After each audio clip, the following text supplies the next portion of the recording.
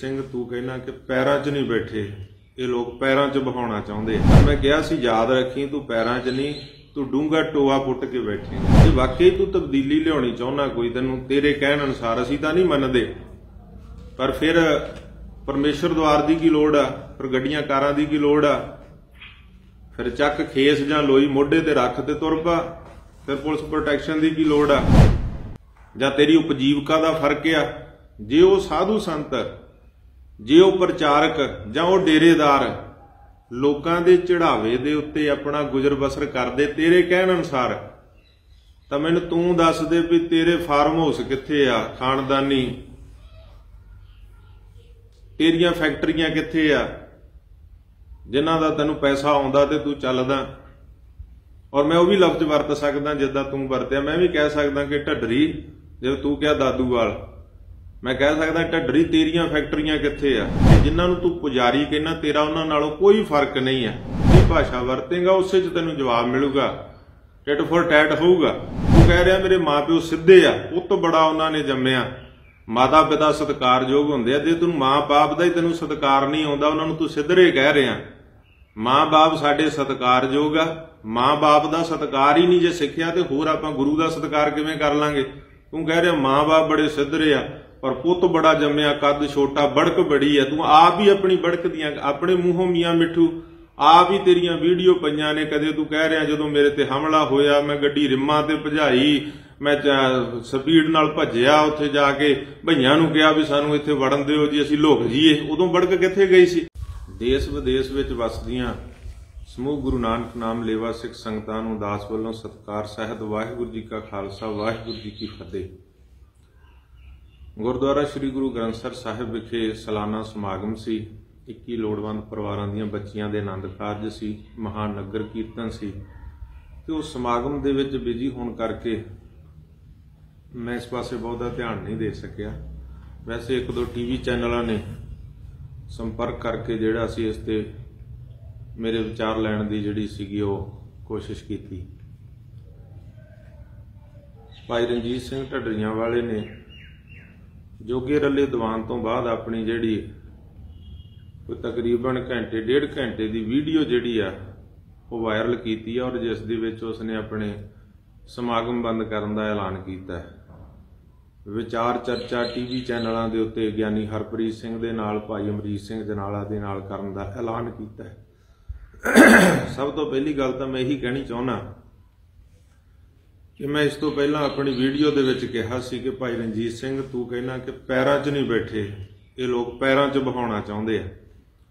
ਤੇ ਮੈਂ ਤੈਨੂੰ ਕਿਹਾ ਸੀਗਾ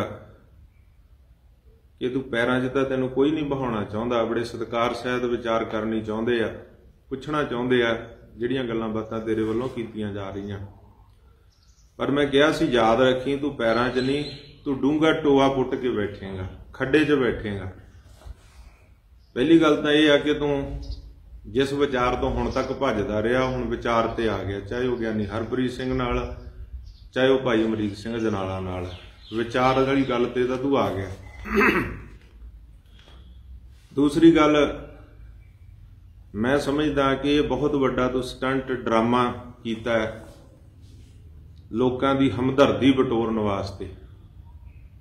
ਕਿ ਇਸ ਤਰੀਕੇ ਦੇ ਨਾਲ ਲੋਕਾਂ ਦੀ ਹਮਦਰਦੀ ਮੇਰੇ ਨਾਲ ਸਿੰਪਤੀ ਜਿਹੜੀ ਆ ਜੁੜ ਜਾਵੇ, ਜੋ ਵੀਡੀਓ ਦੇ ਵਿੱਚ ਵੀ ਵੈਸੇ ਤੋਂ ਬੁੱਧੀਜੀਵੀ ਕਹਿ ਕੇ ਮਿਸ਼ਨਰੀ ਪ੍ਰਚਾਰਕ ਕਹਿ ਕੇ ਬੜੇ ਤਰਲੇ ਲਏ ਆ। ਬੜੇ ਲੋਕਾਂ ਨੂੰ ਵੀ ਕਿਹਾ ਮੇਰੇ ਨਾਲ ਰਹੋ ਜੇ। ਮੈਂ ਇੱਕ ਗੱਲ ਕਹਿਣੀ ਚਾਹੁੰਦਾ ਕਿ ਜਿਨ੍ਹਾਂ ਨੇ ਕ੍ਰਾਂਤੀ ਲਿਆਂਦੀ, ਤਬਦੀਲੀ ਲਿਆਂਦੀ, ਮੈਨੂੰ ਇਤਿਹਾਸ ਦੇ ਵਿੱਚ ਐਸਾ ਕੋਈ ਸਾਧੂ ਸੰਤ, ਮਹਾਪੁਰਖ, ਗੁਰੂ, ਪੀਰ, ਫਕੀਰ ਐਸਾ ਨਹੀਂ ਮਿਲਿਆ ਜਿਨੇ ਲੋਕਾਂ ਅੱਗੇ ਤਰਲੇ ਕੱਢੇ ਹੁਣ, ਦੂਜੇ ਸਾਧੂ ਸੰਤਾਂ ਜਾਂ ਪ੍ਰਚਾਰਕਾਂ ਅੱਗੇ ਤਰਲੇ ਕੱਢੇ ਹੋਣ ਕਿ ਤੁਸੀਂ ਮੇਰੇ ਨਾਲ ਰਹੋ ਤੁਸੀਂ ਮੇਰਾ ਸਾਥ ਦਿਓ। ਔਰ ਜਿਸ ਤਰੀਕੇ ਨਾਲ ਗਿੜਗੜਾ ਕੇ ਤਰਲੇ ਤੈਂ ਕੱਢੇ ਆ, ਉਹ ਸਾਰੀ ਦੁਨੀਆ ਨੇ ਸੁਣੇ ਆ। ਜੇ ਵਾਕਈ ਤੂੰ ਤਬਦੀਲੀ ਲਿਆਉਣੀ ਚਾਹੁੰਦਾ ਕੋਈ, ਤੈਨੂੰ ਤੇਰੇ ਕਹਿਣ ਅਨੁਸਾਰ ਅਸੀਂ ਤਾਂ ਨਹੀਂ ਮੰਨਦੇ। ਪਰ ਫਿਰ ਪਰਮੇਸ਼ਰ ਦਵਾਰ ਦੀ ਕੀ ਲੋੜ ਆ? ਪਰ ਗੱਡੀਆਂ ਕਾਰਾਂ ਦੀ ਕੀ ਲੋੜ ਆ? ਫਿਰ ਚੱਕ ਖੇਸ ਜਾਂ ਲੋਈ ਮੋਢੇ ਤੇ ਰੱਖ ਤੇ ਤੁਰਪਾ ਫਿਰ ਪੁਲਿਸ ਪ੍ਰੋਟੈਕਸ਼ਨ ਦੀ ਕੀ ਲੋੜ ਆ? ਤੁਰਪਾ ਕ੍ਰਾਂਤੀਕਾਰੀਆਂ ਨੇ ਕਦੇ ਪਰਵਾਹ ਨਹੀਂ ਕੀਤੀ, ਉਹਨਾਂ ਨੇ ਫੋਰਸਾਂ ਨਹੀਂ ਰੱਖੀਆਂ। ਜਿਨ੍ਹਾਂ ਤਬਦੀਲੀਆਂ ਲਿਆਂਦੀਆਂ, ਉਹ ਤਤੀਆਂ ਤਵੀਆਂ ਤੇ ਬੈਠੇ, ਉਹਨਾਂ ਚਾਂਦਨੀ ਚੌਂਕ 'ਚ ਸੀਸ ਕਟਾਇਆ, ਉਹ ਨੀਹਾਂ 'ਚ ਚਿਣੇ ਗਏ।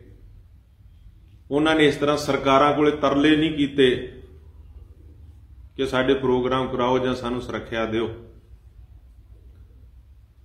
ਮੈਂ ਇੱਕ ਗੱਲ ਕਹਿਣੀ ਚਾਹੁੰਦਾ ਕਿ ਤੂੰ, ਮੈਂ ਉਹੀ ਲਫ਼ਜ਼ ਵਰਤ ਸਕਦਾ ਜਿਹੜਾ ਸ਼ਬਦ ਤੂੰ ਆਪਣੀ ਵੀਡੀਓ ਦੇ ਵਿੱਚ ਵਰਤਿਆ ਕਿ ਦਾਦੂਵਾਲ ਕਿਹੜੀ ਏਜੰਸੀ ਜਿਹੜੀ ਸਾਨੂੰ ਇੰਨਾ ਕੁਝ ਦੇ ਦੂਗੀ ਅੱਜ ਤੱਕ ਜਿਹੜਾ ਕੁਝ ਤੇਰੇ ਕੋਲ ਆ, ਉਹ ਜੋ ਤੂੰ 15 ਸਾਲ ਜਿਹਨੂੰ ਤੂੰ ਕਹਿਣਾ ਕਿ ਮੈਂ ਝੂਠ ਬੋਲਿਆ, ਗੱਪਾਂ ਮਾਰੀਆਂ, ਉਹਦੇ ਕਰਕੇ ਇਕੱਠਾ ਕੀਤਾ, ਉਹਦੇ ਨਾਲ ਪਰਮੇਸ਼ਰ ਦਵਾਰ ਬਣਿਆ, ਉਹਦੇ ਨਾਲ ਸਾਧਨ ਆਏ।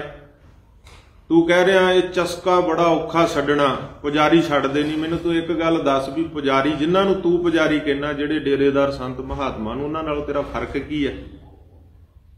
ਕੀ ਤੇਰੇ ਰਹਿਣ ਸਹਿਣ ਦਾ ਫ਼ਰਕ ਆ ਉਹਨਾਂ ਨਾਲੋਂ? ਤੇਰੇ ਆਉਣ ਜਾਣ ਦਾ ਫ਼ਰਕ ਆ? ਜਾਂ ਤੇਰੀ ਉਪਜੀਵਕਾ ਦਾ ਫ਼ਰਕ ਆ? ਜੇ ਉਹ ਸਾਧੂ ਸੰਤ, ਜੇ ਉਹ ਪ੍ਰਚਾਰਕ, ਜਾਂ ਉਹ ਡੇਰੇਦਾਰ, ਲੋਕਾਂ ਦੇ ਚੜਾਵੇ ਦੇ ਉੱਤੇ ਆਪਣਾ ਗੁਜ਼ਰ ਬਸਰ ਕਰਦੇ, ਤੇਰੇ ਕਹਿਣ ਅਨੁਸਾਰ ਤਾਂ ਮੈਨੂੰ ਤੂੰ ਦੱਸ ਦੇ ਵੀ ਤੇਰੇ ਫਾਰਮ ਹਾਊਸ ਕਿੱਥੇ ਆ, ਖਾਨਦਾਨੀ? ਤੇਰੀਆਂ ਫੈਕਟਰੀਆਂ ਕਿੱਥੇ ਆ? ਜਿਨ੍ਹਾਂ ਦਾ ਤੈਨੂੰ ਪੈਸਾ ਆਉਂਦਾ ਤੇ ਤੂੰ ਚੱਲਦਾ। ਔਰ ਮੈਂ ਉਹ ਵੀ ਲਫ਼ਜ਼ ਵਰਤ ਸਕਦਾ ਜਿੱਦਾਂ ਤੂੰ ਵਰਤਿਆ। ਮੈਂ ਵੀ ਕਹਿ ਸਕਦਾ ਕਿ ਢੱਡਰੀ ਜੇ ਤੂੰ ਕਿਹਾ ਦਾਦੂਵਾਲ, ਮੈਂ ਕਹਿ ਸਕਦਾ ਢੱਡਰੀ ਤੇਰੀਆਂ ਫੈਕਟਰੀਆਂ ਕਿੱਥੇ ਆ? ਤੇਰੇ ਫਾਰਮ ਹਾਊਸ ਕਿੱਥੇ ਆ? ਤੇਰਾ ਉਹਨਾਂ ਨਾਲੋਂ ਫ਼ਰਕ ਕੀ ਆ? ਜੇ ਵਾਕਿਆ ਹੀ ਤੂੰ ਕਹਿੰਦਾ ਮੈਂ 15 ਸਾਲ ਗੱਪ ਕਹਾਣੀਆਂ ਸੁਣਾਈਆਂ, ਉਸ ਪ੍ਰਜਾਤ ਨਾਲੋਂ ਤੂੰ ਅੱਜ ਪਾਸੇ ਨਿਕਲਿਆ, ਤੂੰ ਕਹਿੰਦਾ ਮੈਂ ਸਾਧ ਬਾਬਿਆਂ ਚੋਂ ਨਿਕਲ ਕੇ ਆਇਆ। ਛੱਡਿਆ ਤੂੰ ਉਹ ਸਾਰਾ ਕੁਝ ਸਾਧ ਬਾਬਿਆਂ ਵਾਲਾ? ਜਿਹੜਾ ਕੋਈ ਤੂੰ ਕਹਿੰਦਾ ਮੈਂ ਸਾਧ ਬਾਬਿਆਂ ਚੋਂ ਨਿਕਲ ਕੇ ਇਹਨਾਂ ਵੱਲ ਆਇਆ, ਦੂਜੇ ਪ੍ਰਚਾਰਕਾਂ ਵੱਲ ਵੇਖ ਕੇ, ਪਹਿਲੀ ਗੱਲ ਤਾਂ ਤੇਰੀ ਇਹੀ ਗੱਲ ਗਲਤ ਆ, ਤੂੰ ਕਿਹਾ ਕਿ ਮੈਂ ਉਹਨਾਂ ਵੱਲ ਵੇਖ ਕੇ ਤੇ ਉਹ ਅੱਜ ਮੇਰੇ ਨਾਲ ਨਹੀਂ ਖੜ ਰਹੇ। ਪਹਿਲੀ ਤਾਂ ਤੇਰੀ ਇਹੀ ਗਲਤੀ ਹੈ ਤੈਨੂੰ ਕੋਈ ਗੁਰੂ ਸਾਹਿਬ ਨੇ ਗਿਆਨ ਨਹੀਂ ਬਖਸ਼ਿਆ। ਗੁਰੂ ਦਾ ਗਿਆਨ ਲੈ ਕੇ ਤੂੰ ਆਪਣੀ ਲੀਕ ਜਿਹੜੀ ਲਾਈਨ ਆ, ਵੱਖਰੀ ਨਹੀਂ ਖਿੱਚੀ। ਤੂੰ ਤੇ ਆਪ ਕਹਿ ਰਿਹਾ, ਤੂੰ ਉਹਨਾਂ ਵੱਲ ਵੇਖ ਕੇ ਉਹਨਾਂ ਕਥਾਵਾਚਕਾਂ, ਉਹਨਾਂ ਪ੍ਰਚਾਰਕਾਂ ਜਾਂ ਉਹਨਾਂ ਬੁੱਧੀਜੀਵੀਆਂ ਜਾਂ ਮਿਸ਼ਨਰੀਆਂ ਵੱਲ ਵੇਖ ਕੇ ਪਾਸੇ ਆਇਆ, ਜਿਹੜੇ ਅੱਜ ਤੇਰੇ ਨਾਲ ਨਹੀਂ ਖੜ ਰਹੇ, ਜਿਨ੍ਹਾਂ ਨੂੰ ਤੂੰ ਤਰਲੇ ਕੱਢ ਰਿਹਾ, ਜਿਨ੍ਹਾਂ ਅੱਗੇ ਤੂੰ ਗਿੜਗੜਾ ਰਿਹਾ, ਜਿਨ੍ਹਾਂ ਨੂੰ ਤੂੰ ਦੱਸ ਰਿਹਾ ਕਿ ਤੁਹਾਡੇ ਨੱਕ ਭੰਨ ਤੇ ਉਹਨਾਂ ਨੇ, ਤੁਹਾਨੂੰ ਐ ਕਰ ਦਿੱਤਾ, ਉਹ ਕਰ ਦਿੱਤਾ ਤੁਸੀਂ ਅੱਜ ਵੀ ਉਹਨਾਂ ਨਾਲ ਜਾ ਖੜੇ ਹੋਏ ਹੋ। ਸਟੇਜਾਂ ਬਚਾਉਣ ਵਾਸਤੇ ਮੈਂ ਸਟੇਜਾਂ ਨਹੀਂ ਬਚਾਉਣੀਆਂ। ਮੈਂ ਇੱਕ ਗੱਲ ਕਹਿਣੀ ਚਾਹੁੰਦਾ ਕਿ ਤੂੰ ਉਹਨਾਂ ਚੋਂ ਨਿਕਲ ਕਿਵੇਂ ਆਇਆ? ਤੂੰ ਕਹਿੰਦਾ ਮੈਂ ਉਹਨਾਂ ਸਾਧ ਬਾਬਿਆਂ ਚੋਂ ਨਿਕਲਿਆ। ਕਿਹੜੀ ਗੱਲ ਤੋਂ ਤੂੰ ਨਿਕਲਿਆ? ਕੀ ਕੱਲਾ ਭਾਈ ਕਹਾਉਣ ਦੇ ਨਾਲ ਕੋਈ ਨਿਕਲ ਆਉਂਦਾ? ਤੂੰ ਕਹਿੰਦਾ ਮੈਂ ਭਾਈ ਗਿਆ, ਸੰਤ ਬਾਬਾ ਨਾ ਕਹੋ। ਇਹ ਕਹਾਉਂਦੇ ਆ, ਤਾਂ ਲੋਕ ਕਹਿੰਦੇ ਆ। ਤੂੰ ਤਾਂ ਛੋਟੇ ਇਕੱਠ 'ਚ ਗਿਆ ਹੋ ਮੈਂ ਤਾਂ ਲੱਖਾਂ ਦੇ ਇਕੱਠ ਵਿੱਚ ਗਿਆ ਸੀਗਾ। 10 ਨਵੰਬਰ 2015 ਨੂੰ ਸਰਬੱਤ ਖਾਲਸਾ ਚੱਬਾ ਦੀ ਧਰਤੀ ਤੇ। ਔਰ ਇਥੋਂ ਤੱਕ ਕਿ ਪ੍ਰਬੰਧਕਾਂ ਨੂੰ ਵੀ ਨਹੀਂ ਸੀ ਪਤਾ ਕਿ ਮੈਂ ਸਟੇਜ ਤੇ ਕੀ ਕਹਿਣਾ। ਜਿਹੜੇ ਪ੍ਰਬੰਧਕ ਸਨ ਆਰਗੇਨਾਈਜ਼ਰ ਸਨ, ਉਹਨਾਂ ਨੂੰ ਵੀ ਨਹੀਂ ਪਤਾ ਸੀ ਕਿ ਮੈਂ ਕੀ ਕਹਿਣਾ ਅੱਜ ਵੀ ਉਹ ਗੁਰੂ ਸਾਹਿਬ ਦੀ ਹਜ਼ੂਰੀ 'ਚ ਇਹ ਗੱਲ ਤੈਨੂੰ ਦੱਸ ਸਕਦੇ ਆ। ਮੈਂ ਗੁਰੂ ਸਾਹਿਬ ਦੀ ਹਜ਼ੂਰੀ 'ਚ ਤੈਨੂੰ ਅੱਜ ਵੀ ਮੈਂ ਹਾਜ਼ਰ ਨਾਜ਼ਰ ਗੁਰੂ ਸਾਹਿਬ ਨੂੰ ਜਾਣ ਕੇ ਕਹਿ ਰਿਹਾ। ਮੈਂ ਦੱਸ ਸਕਦਾ ਔਰ ਤੈਨੂੰ ਦੱਸ ਰਿਹਾ ਕਿ ਮੈਂ ਵੀ ਉੱਥੇ ਕਿਹਾ ਸੀ, ਭਾਈ ਮੈਨੂੰ ਸੰਤ ਬਾਬਾ ਨਾ ਕਹੋ, ਮੈਨੂੰ ਭਾਈ ਕਹਿ ਲਿਆ ਕਰੋ। ਭਾਈ ਸ਼ਬਦ ਛੋਟਾ ਨਹੀਂ, ਭਾਈ ਗੁਰੂ ਸਾਹਿਬ ਨੇ ਬਖਸ਼ਿਆ। ਸੰਤ ਮਹਾਤਮਾ ਦਾ ਅਸੀਂ ਸਤਿਕਾਰ ਕਰਦੇ ਹਾਂ, ਪਰ ਮੈਨੂੰ ਅੱਜ ਵੀ ਕਈ ਸਟੇਜਾਂ ਦੇ ਉੱਤੇ, ਭਾਵੇਂ ਸਰਬੱਤ ਖਾਲਸਾ ਨੇ ਮੈਨੂੰ ਵੱਡੀਆਂ ਸੇਵਾਵਾਂ ਬਖਸ਼ ਦਿੱਤੀਆਂ, ਅੱਜ ਵੀ ਮੈਨੂੰ ਕਈ ਸਟੇਜਾਂ ਦੇ ਉੱਤੇ ਸੰਤ ਬਾਬਾ ਕਹਿ ਦਿੰਦੇ, ਕਈਆਂ ਨੂੰ ਬੇਨਤੀ ਕਰੀ ਦੀ ਹੈ, ਭਾਈ ਬਲਜੀਤ ਸਿੰਘ ਕਹਿ ਦਿਓ, ਸੰਤ ਬਾਬਾ ਨਾ ਕਹੋ। ਪਰ ਜੇ ਤੇਰੇ ਕਹਿਣ ਅਨੁਸਾਰ ਕਿ ਸੰਤ ਬਾਬਾ ਕਹਾਇਆ ਜਾਂਦਾ, ਸੰਤ ਬਾਬਾ ਜਰਨੈਲ ਸਿੰਘ ਖਾਲਸਾ ਭਿੰਡਰਾਂ ਵਾਲਿਆਂ ਨੇ ਵੀ ਕਦੇ ਨਹੀਂ ਸੀ ਕਿਹਾ ਵੀ ਮੈਨੂੰ ਸੰਤ ਬਾਬਾ ਕਹੋ। ਉਹਨਾਂ ਨੂੰ ਸੰਗਤਾਂ ਕਹਿੰਦੀਆਂ, ਸਾਧੂ ਸੰਤ ਮਹਾਤਮਾ ਇੰਨੇ ਹੋਏ ਸਾਡੇ ਸਤਿਕਾਰਯੋਗ ਆ। ਚਲੋ ਮੈਂ ਇਸ ਪਾਸੇ ਬਹੁਤਾ ਟਾਈਮ ਨਾਲ ਆਵਾਂ ਪਹਿਲੀ ਗੱਲ ਤਾਂ ਇਹ ਹੈ ਕਿ ਜਿਨ੍ਹਾਂ ਨੂੰ ਤੂੰ ਪੁਜਾਰੀ ਕਹਿੰਦਾ, ਤੇਰਾ ਉਹਨਾਂ ਨਾਲੋਂ ਕੋਈ ਫ਼ਰਕ ਨਹੀਂ ਹੈ ਰਹਿਣ ਸਹਿਣ ਦਾ ਆਉਣ ਜਾਣ ਦਾ, ਉਪਜੀਵਕਾ ਦਾ। ਜੇ ਉਹਨਾਂ ਦੇ ਕੋਈ ਫਾਰਮ ਹਾਊਸ ਨਹੀਂ, ਫੈਕਟਰੀਆਂ ਨਹੀਂ, ਉਹ ਸੰਗਤ ਦੇ ਚੜਾਵੇ ਨਾਲ ਚੱਲਦੇ ਆਉਂਦੇ, ਸੰਗਤਾਂ ਪੂਜਾ ਭੇਟ ਕਰਦੀਆਂ ਸਤਕਾਰ ਨਾਲ ਤੇ ਉਹੀ ਕੰਮ ਤੇਰਾ ਵਾ। ਤੇਰੇ ਕੋਲ ਵੀ ਪੈਸਾ ਇਸੇ ਤਰ੍ਹਾਂ ਆਉਂਦਾ। ਸਵਾਦ ਤਾਂ ਸੀ ਜਿਹੜੀਆਂ ਦਿਨਾਂ ਨੂੰ ਤੂੰ ਗੱਪ ਕਹਾਣੀਆਂ ਕਿਹਾ, ਉਸ ਨੂੰ ਛੱਡ ਕੇ ਪਰਮੇਸ਼ਰ ਦਵਾਰ ਨੂੰ। ਤੂੰ ਮੋਢੇ ਤੇ ਖੇਸ ਰੱਖ ਕੇ ਉੱਥੋਂ ਨਿਕਲਦਾ ਤੇ ਤੁਰ ਪੈਂਦਾ, ਸੰਗਤਾਂ ਨੂੰ ਮੈਂ ਸੁਧਾਰਨ ਵਾਸਤੇ ਚੱਲਿਆ, ਮੈਂ ਤਬਦੀਲੀ ਲਿਆਉਣ ਚੱਲਿਆ, ਮੈਂ ਕ੍ਰਾਂਤੀ ਲਿਆਉਣ ਚੱਲਿਆ, ਔਰ ਮੈਂ ਲੋਕ ਇਹਨਾਂ ਨੌਜਵਾਨਾਂ ਦੇ ਦਿਮਾਗ ਵਿੱਚੋਂ ਜਿਹੜਾ ਹੈ ਉਹ ਗੱਪ ਕਹਾਣੀਆਂ ਕੱਢਣ ਚੱਲਿਆ, ਮੈਂ ਸਹੀ ਗੱਲ ਲੋਕਾਂ ਨੂੰ ਦੱਸਣੀ ਹੈ। ਫਿਰ ਅਸੀਂ ਇਹ ਗੱਲ ਨੂੰ ਮੰਨ ਲੈਂਦੇ। ਦੂਸਰਾ ਤੂੰ ਇੱਕ ਗੱਲ ਕਹੀ ਹੈ, ਕਹਿੰਦਾ ਕਿ ਮੈਂ ਗਿਆਨੀ ਹਰਪ੍ਰੀਤ ਸਿੰਘ ਨਾਲ ਵਿਚਾਰ ਕਰੂੰ ਮਰੀਕ ਸਿੰਘ ਜਨਾਲਾ ਨਾਲ ਕਰੂੰ, ਹਰੇਕ ਹੀ ਮਾਮੇ ਬਣ ਜਾਂਦੇ, ਹਰੇਕ ਨਾਲ ਵਿਚਾਰ ਨਹੀਂ ਕਰਨੀ। ਹੁਣ ਤੇਰੀ ਭਾਸ਼ਾ 'ਚ ਮੈਂ ਕਹਿ ਸਕਦਾ, ਜਿਵੇਂ ਤੂੰ ਕਿਹਾ ਵੀ ਮਾਮੇ ਨਾ ਬਣ ਜਿਓ ਮੇਰੇ।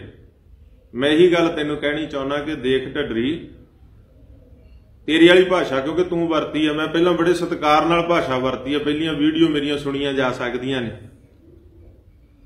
ਮੈਂ ਇੱਕ ਗੱਲ ਕਹਿਣੀ ਚਾਹੁੰਦਾ ਤੈਨੂੰ।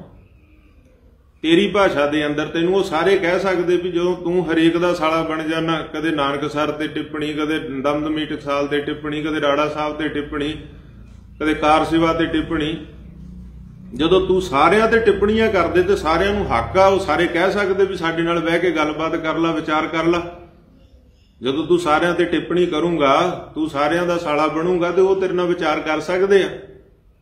ਜਦੋਂ ਤੂੰ ਇਹ ਗੱਲ ਕਹੇਂਗਾ ਤਾਂ ਤੇਰੀ ਭਾਸ਼ਾ ਅੰਦਰ ਤੂੰ ਕਹਿ ਰਿਹਾ ਵੀ ਮਾਮੇ ਨਾ ਬਣ ਜਾਇਓ। ਮੈਂ ਇੱਕ ਗੱਲ ਕਹਿਣੀ ਚਾਹੁੰਦਾ ਵਿਚਾਰਾਂ ਹੋਰ ਵੀ ਚੱਲਣਗੀਆਂ, ਵੀਡੀਓ ਬਣਨਗੀਆਂ, ਤੂੰ ਵੀ ਬਣਾਏਗਾ ਵਿਚਾਰ ਚਰਚਾ ਥੋੜਾ ਜਿਹਾ ਭਾਸ਼ਾ ਨੂੰ ਸੰਕੋਚ ਕਰ। ਨਹੀਂ ਤੇ ਜਿਹੜੀ ਭਾਸ਼ਾ ਵਰਤੇਗਾ, ਉਸੇ 'ਚ ਤੈਨੂੰ ਜਵਾਬ ਮਿਲੂਗਾ।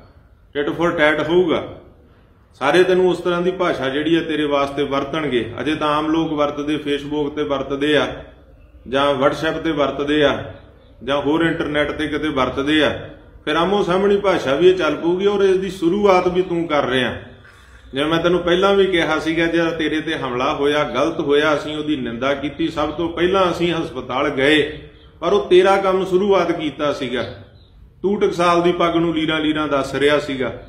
ਤੂੰ ਸ਼ੁਰੂਆਤ ਕੀਤੀ ਸੀ ਤਾਂ ਤੇਰੇ ਤੇ ਹਮਲਾ ਹੋਇਆ, ਪਰ ਅਸੀਂ ਫੇਰ ਵੀ ਉਸ ਹਮਲੇ ਨੂੰ ਡਿਫੈਂਡ ਨਹੀਂ ਕੀਤਾ ਕੰਡੈਮ ਕੀਤਾ। ਅਸੀਂ ਜਦੋਂ ਡੀਐਮਸੀ ਹਸਪਤਾਲ ਗਏ, ਜਹੇਦਾਰ ਮੰਡ ਸਾਹਿਬ, ਜਹੇਦਾਰ ਜਨਾਲਾ ਸਾਹਿਬ ਤੇ ਮੈਂ ਗਏ ਸੀਗੇ, ਤਾਂ ਉਸ ਵੇਲੇ ਉਥੇ ਜਿਹੜੇ ਅਫਸਰ ਸੀ ਉਹਨਾਂ ਨੇ ਦੱਸਿਆ ਸੀਗਾ ਕਿ ਉਹ ਇੱਥੇ ਨਹੀਂ ਹੈਗਾ, ਉਹ ਕਿਤੇ ਬਸਤਰ ਸਾਫ਼ ਕਰ ਰਿਹਾ ਕਿਸੇ ਕਿਸੇ ਦੇ ਘਰੇ। ਅਸੀਂ ਉਸ ਪਾਸੇ ਨਹੀਂ ਬਹੁਤਾ ਵਿਸਤਾਰ 'ਚ ਜਾਣਾ ਚਾਹੁੰਦੇ। ਤੂੰ ਕਹਿੰਦਾ ਮੇਰੇ ਨਾਲ ਨਹੀਂ ਕੋਈ ਖੜਾ, ਭੋਗ ਦੇ ਉੱਤੇ ਵੀ ਜਾ ਕੇ ਤੇਰੇ ਨਾਲ ਖੜੇ ਸੀ ਉੱਥੇ। ਭਾਵੇਂ ਅਸੀਂ ਦਮਦਮੀ ਟਕਸਾਲ 'ਚ ਵਿਦਿਆ ਪ੍ਰਾਪਤ ਕੀਤੀ, ਦਮਦਮੀ ਟਕਸਾਲ ਦਾ, ਦਮਦਮੀ ਟਕਸਾਲ ਦੇ ਮਹਾਪੁਰਸ਼ਾਂ ਦਾ ਸਤਿਕਾਰ ਕਰਦੇ, ਕਿਸੇ ਨਾਲ ਮਤਭੇਦ ਵੀ ਹੋ ਸਕਦੇ ਅੱਜ ਕਿਸੇ ਵਿਦਿਆਰਥੀ, ਕਿਸੇ ਗਿਆਨੀ ਨਾਲ ਮਤਭੇਦ ਵੀ ਹੋ ਸਕਦੇ ਆ। ਜਿੰਦਾ ਕੌਮ ਹੈ, ਆਪਸ ਵਿੱਚ ਮਤਭੇਦ ਜਿਹੜੇ ਆ, ਉਹ ਪੈਦਾ ਹੋ ਜਾਂਦੇ ਆ। ਘਰ 'ਚ ਭਾਂਡੇ ਨੇ, ਚਾਰ ਭਾਂਡੇ ਟੋਕਰੀ 'ਚ ਖੜਕ ਵੀ ਜਾਂਦੇ ਆ, ਕੋਈ ਏਡੀ ਗੱਲ ਨਹੀਂ ਆ। ਪਰ ਤੈਨੂੰ ਭਾਸ਼ਾ ਦਾ ਇਸਤੇਮਾਲ ਸਹੀ ਕਰਨਾ ਚਾਹੀ। ਤੂੰ ਇਹ ਨਾ ਕਹਿ ਵੀ ਹਰੇਕ ਮਾਮੇ ਬਣ, ਤੈਨੂੰ ਹਰੇਕ ਕਹਿਣ ਲੱਗ ਜੂਗਾ, ਫਿਰ ਤੂੰ ਹਰੇਕ ਦਾ ਸਾਲਾ ਬਣਦਾ। ਤੇ ਤਾਂ ਤੇਰੇ ਨਾਲ ਵਿਚਾਰ ਜਿਹੜੀ ਆ ਕਰਨ ਅਸੀਂ ਆਏ ਆ, ਜਾਂ ਅਸੀਂ ਕਰਨੀ ਚਾਹੁੰਦੇ ਆ। ਇਸ ਗੱਲ ਤੋਂ ਤੈਨੂੰ ਗਰੇਜ ਕਰਨਾ ਚਾਹੀਦਾ। ਤੂੰ ਕਹਿ ਰਿਹਾ ਮੇਰੇ ਮਾਪਿਓ ਸਿੱਧੇ ਆ, ਉਹ ਤੋਂ ਬੜਾ ਉਹਨਾਂ ਨੇ ਜੰਮਿਆ। ਮਾਤਾ ਪਿਤਾ ਸਤਿਕਾਰਯੋਗ ਹੁੰਦੇ ਆ, ਜੇ ਤੈਨੂੰ ਮਾਂ-ਬਾਪ ਦਾ ਹੀ ਤੈਨੂੰ ਸਤਿਕਾਰ ਨਹੀਂ ਆਉਂਦਾ, ਉਹਨਾਂ ਨੂੰ ਤੂੰ ਸਿੱਧਰੇ ਕਹਿ ਰਿਹਾ। ਮਾਂ-ਬਾਪ ਸਾਡੇ ਸਤਿਕਾਰਯੋਗ ਆ।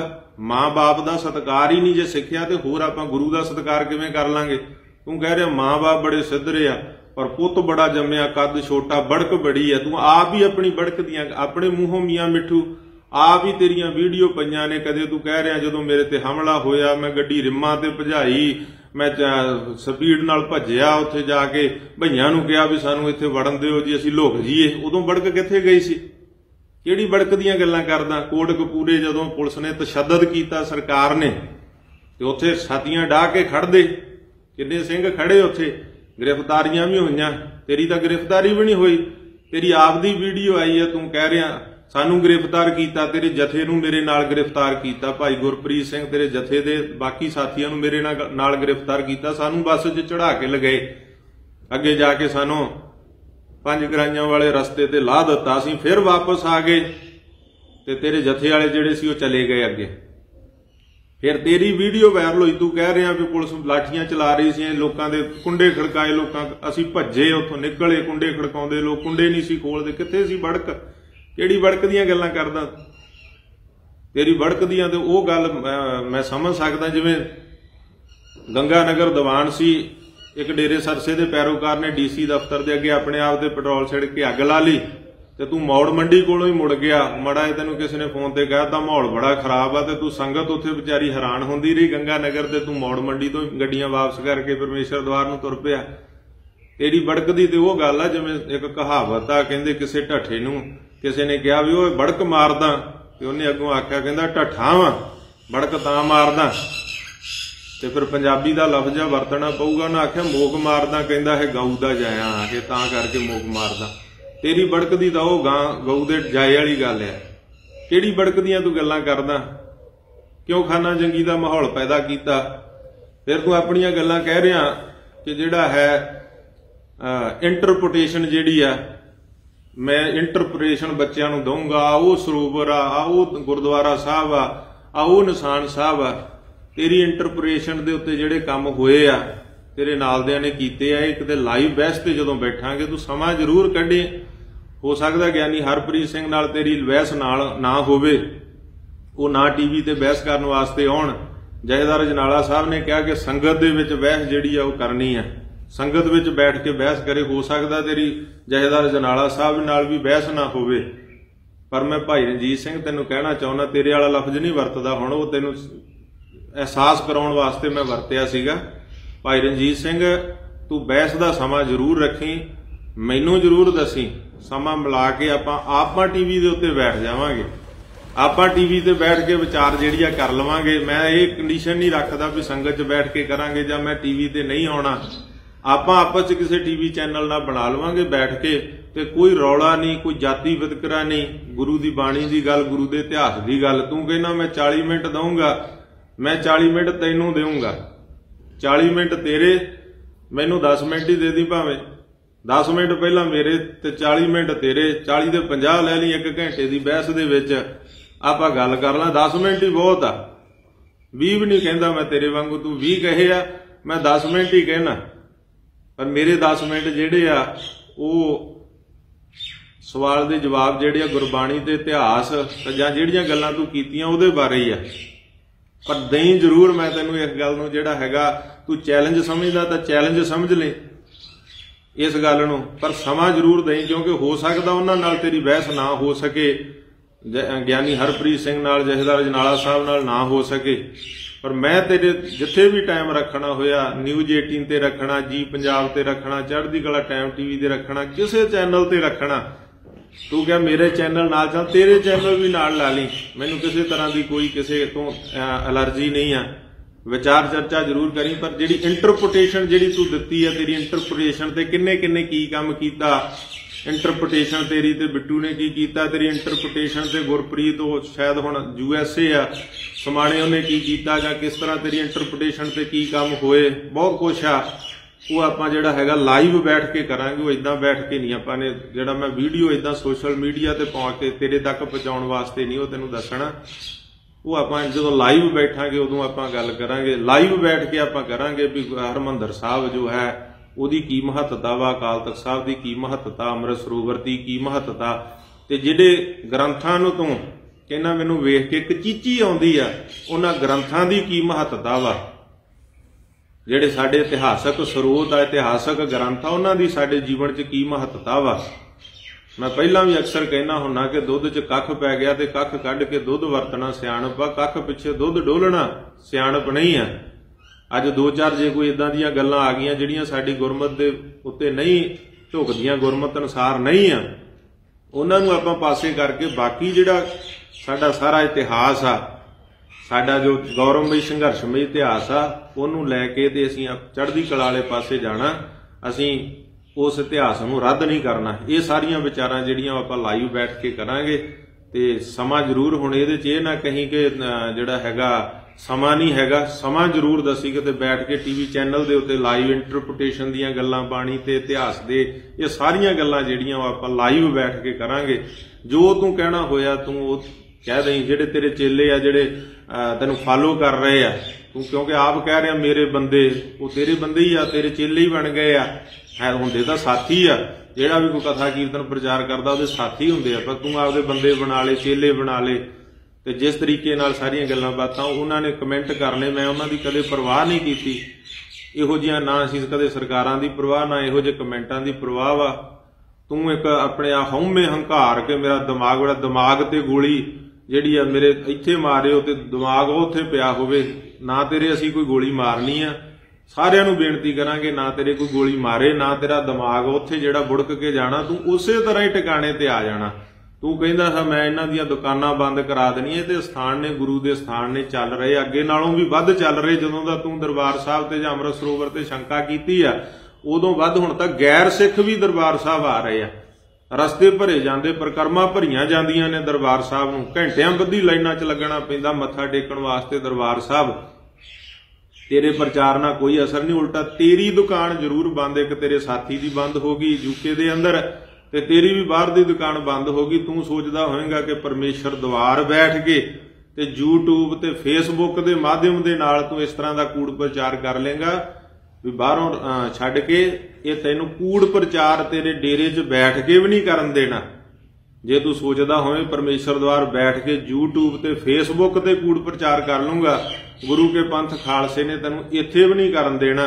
ਤੂੰ ਅੱਜ ਆਪਣੀ ਹਾਲਤ ਇਹ ਦੇਖ ਲੈ, ਤੂੰ ਜਿਨ੍ਹਾਂ ਦੇ ਕਹਿੰਦਾ ਮੈਂ ਪਿੱਛੇ ਲੱਗ ਕੇ ਤੇ ਮੈਂ ਜਿਹੜਾ ਸੀ ਉਹ ਇਧਰੋਂ ਇੱਧਰ ਆਇਆ, ਅੱਜ ਤੂੰ ਕਹਿੰਦਾ, ਉਹ ਵੀ ਮੇਰੇ ਨਾਲ ਨਹੀਂ ਖੜਦੇ, ਕਿਉਂ ਨਹੀਂ ਖੜਦੇ? ਉਹਨਾਂ ਨੂੰ ਵੀ ਪਤਾ ਦਰਬਾਰ ਸਾਹਿਬ ਦੀ ਮਹੱਤਤਾ ਕੀ ਆ, ਅਕਾਲ ਤਖਤ ਸਾਹਿਬ ਦੀ ਮਹੱਤਤਾ ਕੀ ਆ, ਅੰਮ੍ਰਿਤ ਸਰੋਵਰ ਦੀ ਮਹੱਤਤਾ ਕੀ ਆ, ਤੇ ਸਿੱਖ ਇਤਿਹਾਸ ਦੀ ਮਹੱਤਤਾ ਕੀ ਆ?